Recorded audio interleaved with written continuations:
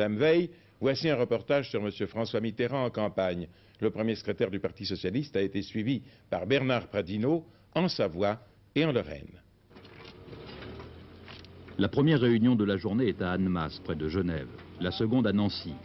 Pour se déplacer, François Mitterrand utilise un avion de location, un petit appareil très rapide qui peut voler plus haut que le Concorde. Les deux réunions rassemblent les responsables locaux et départementaux du Parti socialiste, plus quelques journalistes. Bon voyage. Merci, très bien. Bienvenue. Merci. Il faut pouvoir y répondre. Déjeuner débat très pédagogique. Le professeur François Mitterrand explique à ses élèves socialistes ce qu'il faut penser des sociodémocrates, du bien. Des 35 heures, c'est un bon thème. De Madame Veil, ce qu'elle gagne, c'est ce que perd Monsieur Chirac. D'un quotidien socialiste, il en est question, mais pas tout de suite. La leçon se termine avant le dessert. Il faut encore saluer le conseil municipal et partir sans donner l'impression de se sauver. Il faut faire vite parce que même si l'avion va vite, quand même, je ne peux pas, pas aller à Nancy en 10 minutes, il faut quand même 30 minutes. À votre santé, merci de votre visite. Quand l'avion décolle d'Annemasse, les militants de Nancy attendent déjà. Mais personne, semble-t-il, dans l'entourage de François Mitterrand n'ose lui reprocher d'être en retard. Le journaliste de FR3 qui attend le leader socialiste voudrait parler du Parti communiste. Réponse non. Pas beaucoup de réponses là-dessus, oui. Si vous ne posez pas de questions sur la... Dans ce cas-là, on se sépare à bons amis, mais je remonte tout de suite. Ce matin, Lionel Jospin a violemment attaqué le PC.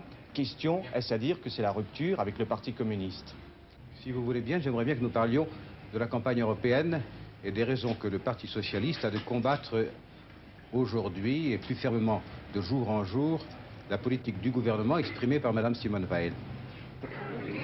Il y a plus de monde à Nancy qu'à Annemasse, et ce sont les journalistes qui posent les questions. Je vais vous demander si le, le PS étant contre le cumul de certains mandats, si vous ne pensiez pas que c'était incompatible de solliciter un mandat européen avec éventuellement un mandat présidentiel. Immanquablement, l'élection présidentielle de article 81 est évoquée. François Mitterrand est élu de la question. Il s'agit ici de l'Europe et de savoir pourquoi le Parti socialiste y est favorable.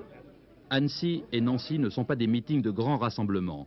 Pourtant, M. Mitterrand y tient beaucoup. Je dois dire que sur le plan de l'efficacité, des réunions comme celle-ci, où l'on rencontre les 30 ou 40 principaux euh, responsables d'une fédération départementale, en même temps la presse, ce qui permet d'aller au fond, d'être plus analytique, plus explicatif, euh, de faire appel euh, aux ressources et, aux, richesses de la raison, euh, c'est d'une efficacité très grande. Alors il faut alterner.